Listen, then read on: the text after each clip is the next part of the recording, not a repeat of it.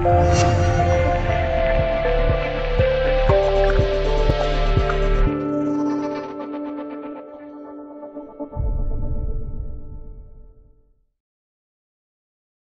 位男子发现一只头部长满犄角的生物。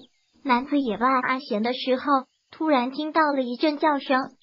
男子一个人来野外探险，想必胆量还是挺大的。但毕竟是一个人，听到从来没听过的奇怪声音，还是让人胆颤的。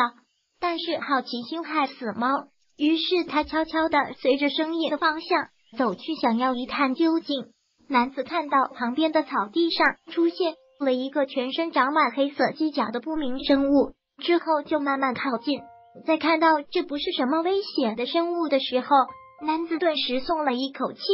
随后，男子不断靠近这个小家伙，让男子想不到的是，这个小家伙竟然一点也不害怕。虽然发现了男子，但是并没有逃走。男子走近后发现，就好像是一只小鹿，在他的头部长满了黑色的犄角。看到这血像人的犄角，男子顿时崩溃了。